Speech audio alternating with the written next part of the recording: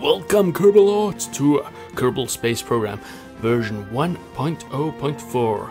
Now I'm just going to take a quick look. Someone asked me to have a quick look and see what they've changed. Okay, let me get the web page up as well, which shows me all the changes. And let's go and start the game. Now obviously I had a pre-look at it to see what exactly has changed.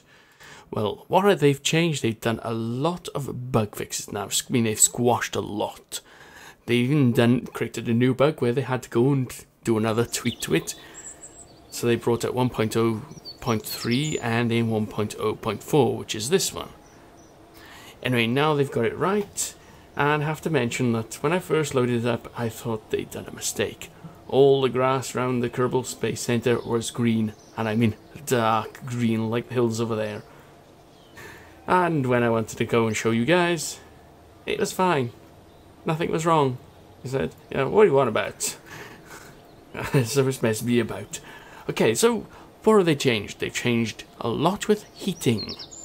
Now I think it's because of rebalancing. Version 1 was the new version out.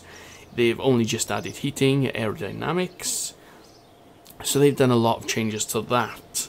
They've also done some changes to things like parachutes, it, now, if you right click on the part, it'll tell you if it's safe to deploy or not safe.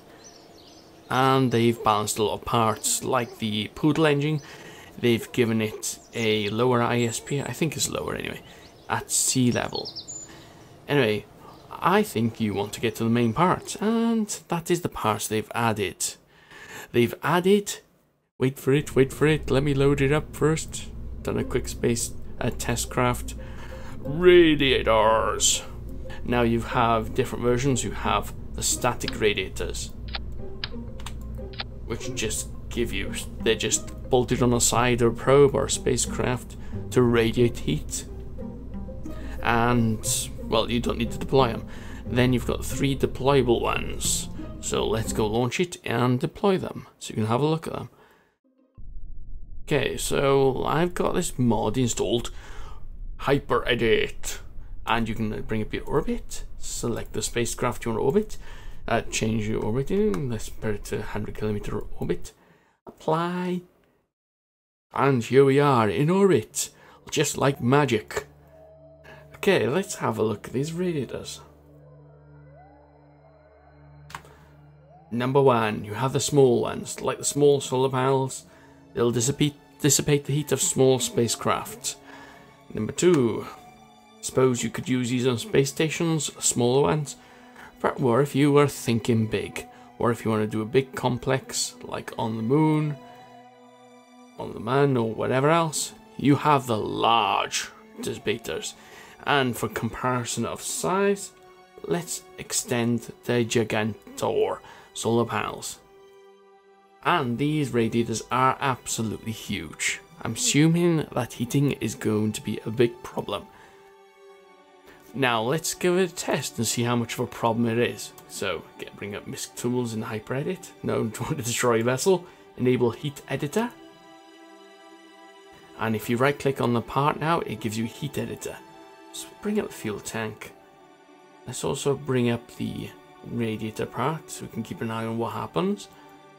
Ah, why not? Yeah, we'll bring up the other parts as well. Ooh, heat editor. Okay, let's increase the heat of the fuel tank. And you see you've got that box there. They've they fixed the bug when you have these boxes open so you can so you don't have to disable the temperature gauges and you are having memory bugs. In fact, let's have a look. Uh, wrong one. Performance. There was a memory leak where the memory allocated would increase and increase and continue to increase it until the game would crash. It looks like they've definitely fixed that. The performance is quite good. So that's one major bug fixed. Okay, you can see I've increased the radiator, the radiation of the fuel tank. The command pod is not increasing so much. Let's fast forward time a bit to see how they react with time. Okay, the radiators have now decreasing. So yes, it does seem to help the parts.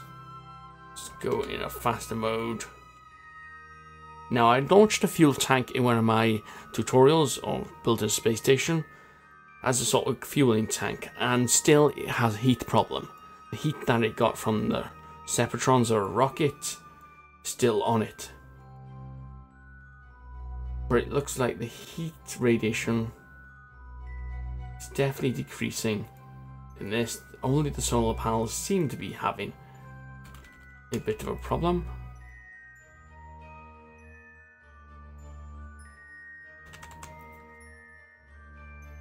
But they are decreasing over time, so yes,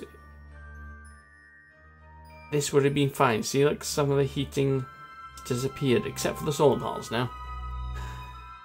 That would have been handy for me and my fuel tank. Anyway, now we've got the radiators, I suppose I could build something, dock it up with one of the docking panels with just the radiators, and the heating problem is gone. But also, they've adjusted the re-entry heating. Now I want to bring up map here. Let's activate that engine.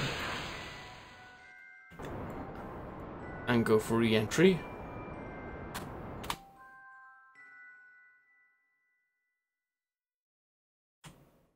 And here we go. Let's decouple that first.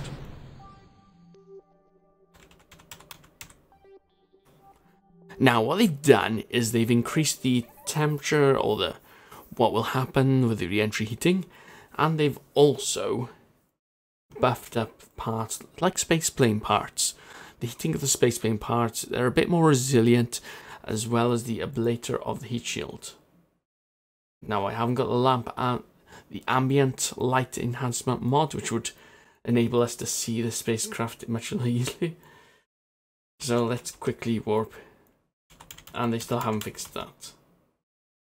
When you go with four times accelerate, the spacecraft will wobble while you're time accelerating. So uh, it's another thing they'll have to look at. Alright, let's get down. Now you see the heating that I've done on the space station, on the oh, space, on the fuel tank has reduced our ablator. So it'll be good to see if this will stand up now to the new re-entry heating settings.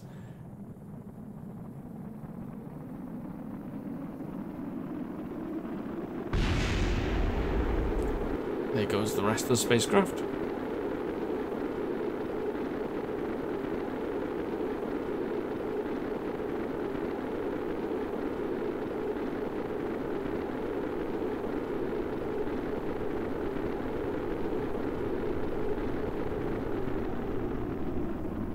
Okay.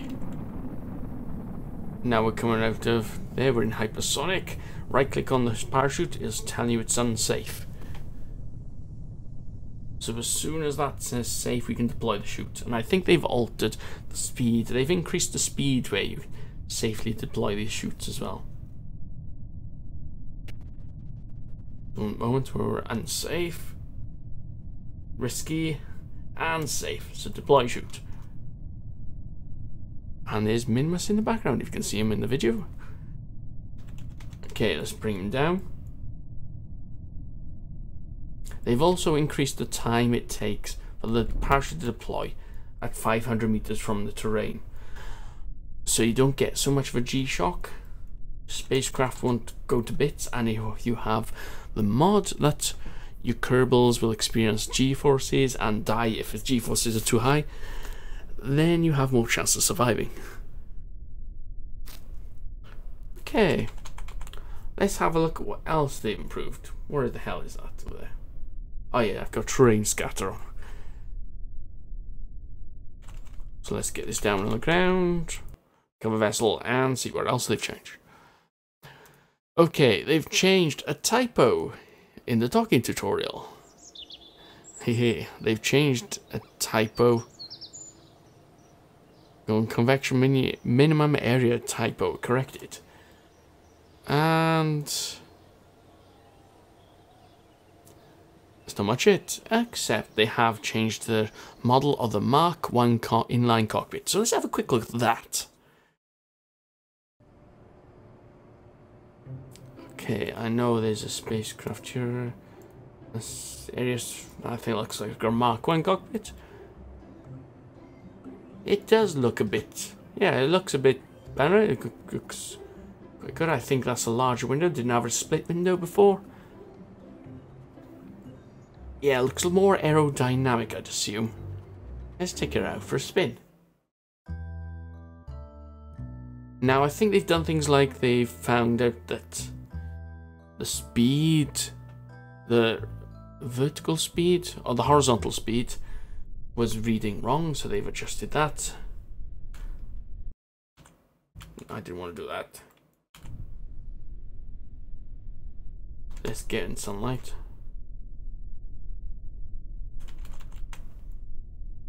Okay, and go to IVA mode. Hmm. I assume it's been improved. I'm only guessing. I don't use space planes that much, so... Okay, let's say it's improved then. Unanimously voted that it's improved.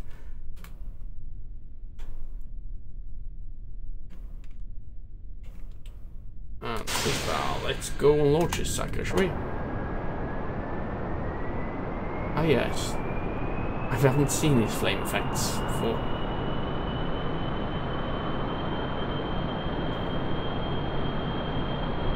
Uh...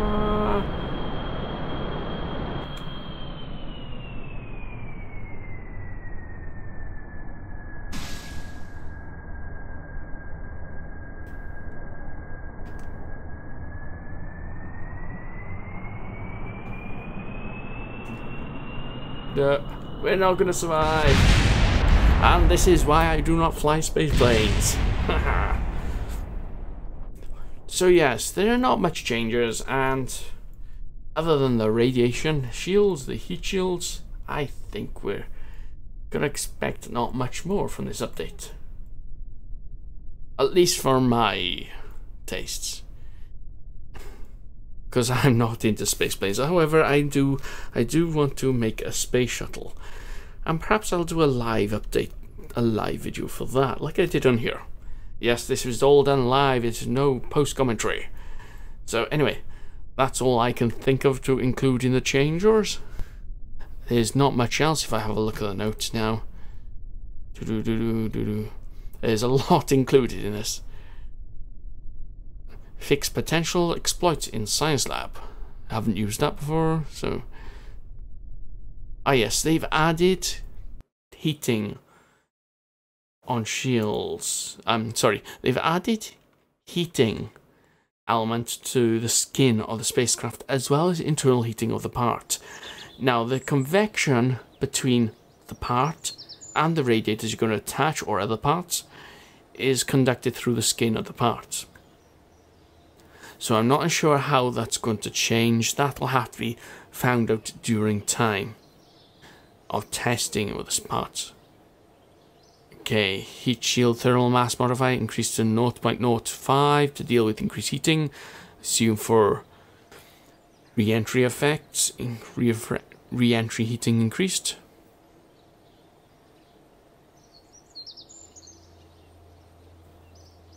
And they've just fixed a lot of things. Okay, that is all that's going to be included in this simple update thing.